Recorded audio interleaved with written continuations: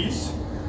That can be a ball, foam roller, um, rolled up pillow, whatever you got. But ball squeezed between the knees, what that does is allow you to stay in an upright posture, squeeze the ball, and you should feel your inner thighs, your hamstrings, and your glutes. It's not a real strong glute contraction that you're trying to just thrust your hips forward. It's more of a turning of the dial where you, you stand up tall and you tilt your hips backwards slightly while squeezing the ball between your knees, not a thrust the hips forward and arch the back. So just stand up tall, should feel just a little bit of glute, a little bit of hamstring, and your inner thighs.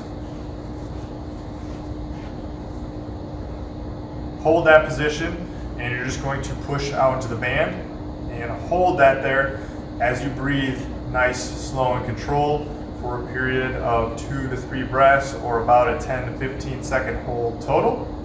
That's step number one. Level one of the exercise. To advance the exercise further, you'll go into a press with the arms then going overhead and then back down. Not trying to go completely overhead, just above the head and back down.